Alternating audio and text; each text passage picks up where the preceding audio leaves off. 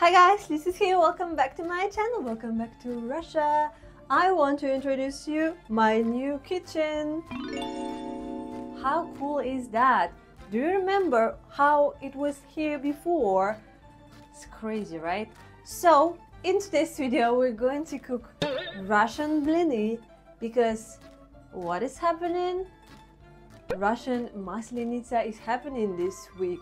And what is Russian Maslenitsa? it's a weird name, right? So, the Maslenitsa is an ancient traditional holiday in Russia that Eastern Slavic people celebrated centuries ago, like even before Christianity. So it means that winter is leaving and spring is coming, and people wanted to celebrate this magic moment. They need to throw a tiny party to celebrate that freaking cold winter is finally going away. And blini actually the round shape of blini symbolize a sun. So if you eat as much blini as possible then more sun will come and shine. This is what going to bring more sunshine into your life the main ingredient in here is of course flour. It's called Makfa. so this brand with yellow package it didn't change maybe since I was born guys. Yes so trust this one. Two big nice eggs or you can take three small eggs to mix it all together we need some milk of course this is VkusVill package of milk you can not only use milk for Russian blini, you can uh, mix it with water and milk or even make it with kefir. But in my opinion, with milk, it's the most delicious recipe. This is Russian oil. It's called Blago.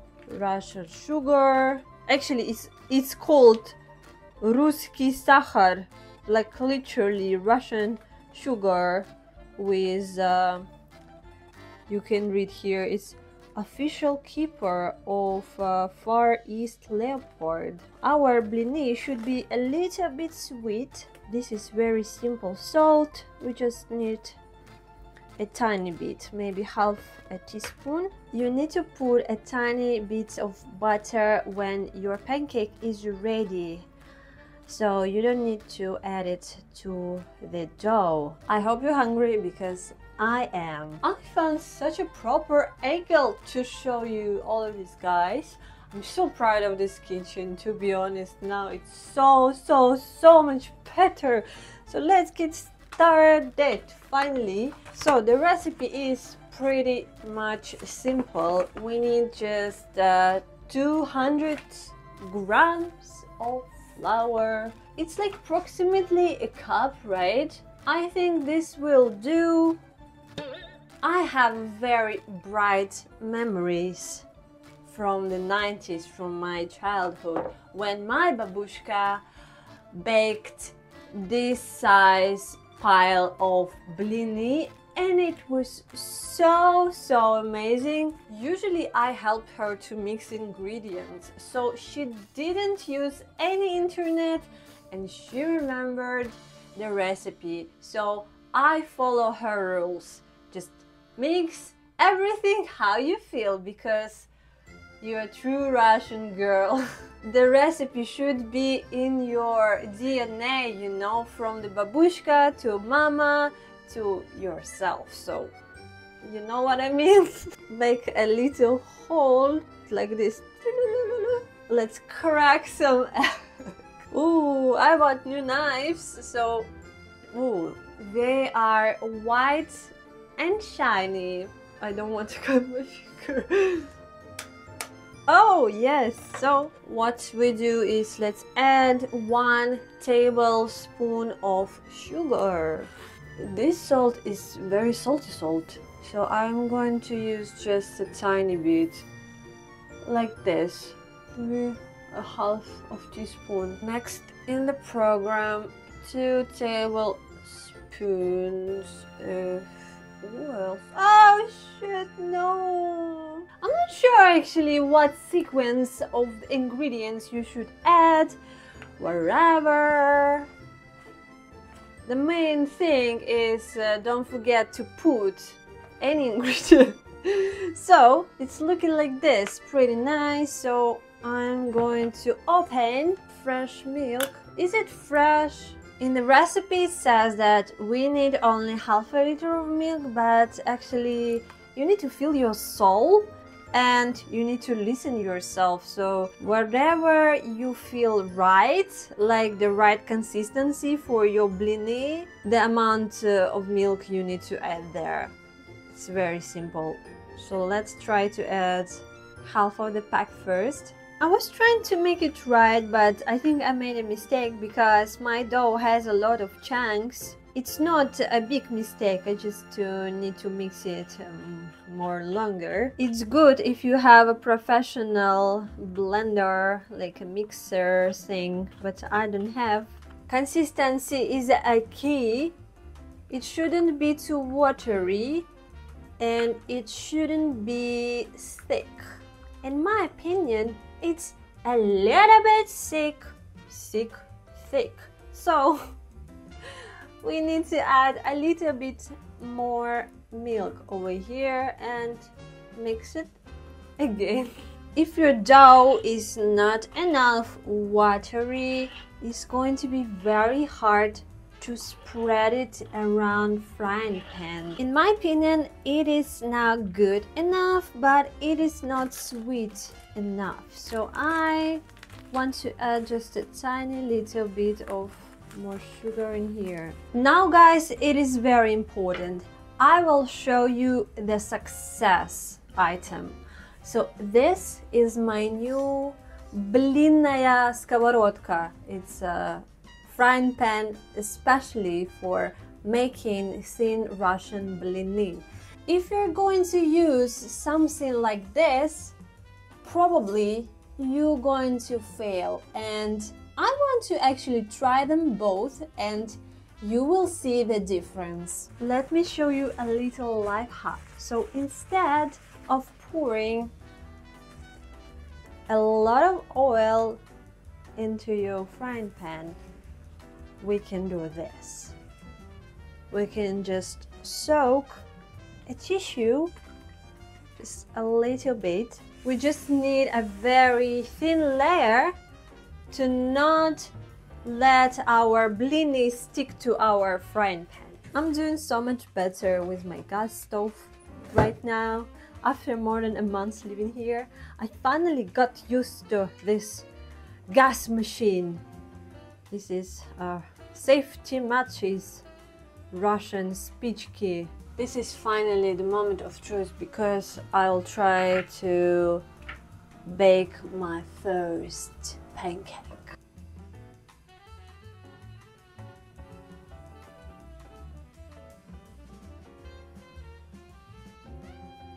What a shame! Look at this! It's like a little octopus. We have saying in Russia that uh, first uh, pancake is uh, trash, like uh, первый блин всегда комом. You need to create your first blin to just fail and then things will go much better. I've got myself new spatulas which are very cool. Oh, this frying pan is so good. It doesn't stick at all. Don't judge me guys, this is just the first pancake. This is the trial version. It's very important to try your first uh, blin because you can change the rest of your dough if you don't like it. So let's try it out. Mm. The taste is very simple, but I'm going to eat it with um, sour cream, with honey, with jam. So this is pretty good.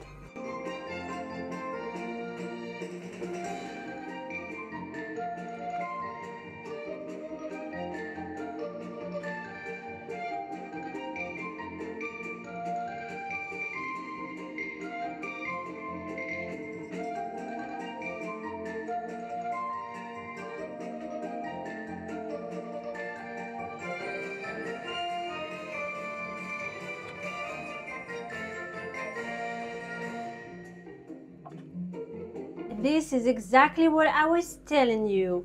First blin is a trash, but the rest of them, they're just perfect. Mmm. Almost all my recipes on my channel, they almost uh, go into disaster in one moment. but in the end, actually, I have a really great result always. This frying pan is just excellent. I'm very impressed. How do you say it in English? Splendid. This literally looks like a sun or maybe a moon. Let's try this one on an old frying pan. Oh no, this is very. Oh, I cannot remove it, guys. This is what I was telling you. So, the frying pan is like uh, the main uh, thing for. Oh shit. Can you see it? I cannot even remove it. What do I do? Oh no! I need to clean it now.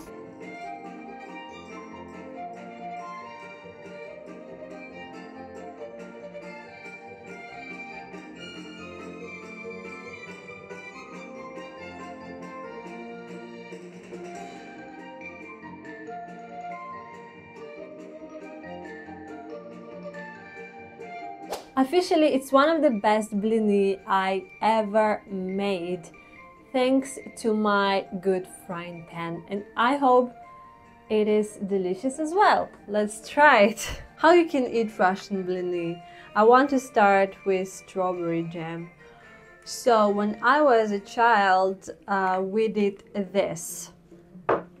We would uh, put some jam and then we would oh it's a bit thick because it's cold I think. Uh, we would spread it like this all around and then we would make a tube. It is not uh, the most convenient way to eat it but if you are a child I think it is fun. Hmm it is pretty good. Let's try my second blin with Russian honey. Yeah, I would get this much. And I will do the same. I would put it somewhere. Mmm. Your honey has to be good. To immerse yourself in this Russian experience we have to sip some black tea. Now I will show you third way to eat blini. It's not going to be sweet, it's going to be sour. So we do this triangle shape and we just uh, put something like this and we eat it. This one I like so much as well. Sour cream has such a refreshing taste.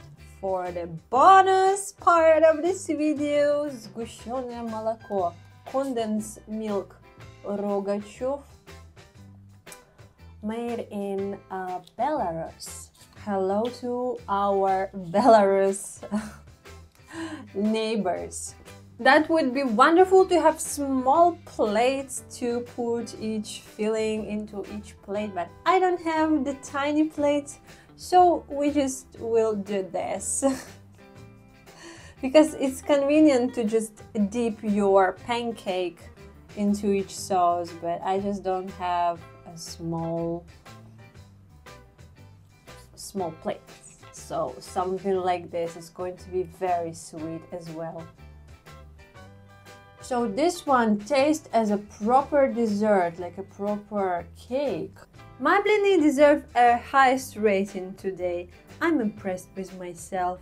I would rate them 8 out of 10 and the most delicious one that I've tried I think is with a smetana with a blue kitten because I don't know it's just uh, mix of sour and the sweet taste. It's so delicious, guys. So, what do you guys think about blini? Would you try to make it yourself or try it somewhere else? Or maybe you have something like this in your national cuisine? Please let me down below in the comments. On this positive note, I want to make a little announcement about one of my next videos. So Maslenitsa week will end on Sunday and tradition is to burn giant doll which symbolizes that we are burning winter and welcoming spring. It's going to be very interesting. I want to make vlog about it so um, if you want to see it, you can give me a big like under this video and please subscribe to wait for it. And yeah guys, thank you so much for staying with me until the end of this video and I will see you very soon in my next one.